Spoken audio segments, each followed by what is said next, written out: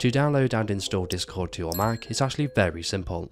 The first thing you need to do is to open your web browser and you want to go to your search engine and you want to search for Discord. You then want to click on the top link. However, you can always click on the link in the description of this video.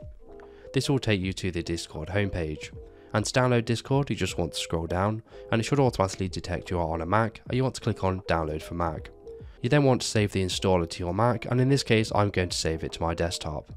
Now you will need a Discord account to use Discord and to create an account you want to scroll all the way to the bottom of the Discord website and here at the footer you want to click on the sign up button.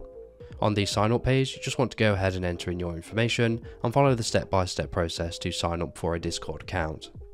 So once you've signed up for your Discord account and you've downloaded the installer, you just want to go ahead and open it up. And then it should bring up a pop-up menu that looks like this. All you need to do is drag and drop the Discord icon into your applications folder. As you can see, I've already got Discord installed, so I'm going to click on replace. However, yours should automatically install to the applications folder. Once you've done this, you can exit out of the pop-up menu and you can delete the Discord folder. Once the Discord installer has been deleted, all you need to do is go ahead and open up the Discord application. It may prompt you if you're sure you want to open the application, you just want to click on open.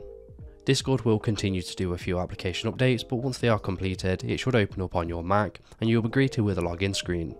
All you need to do is go ahead and log in with the information you created earlier, and then you can start successfully using Discord just as you normally would.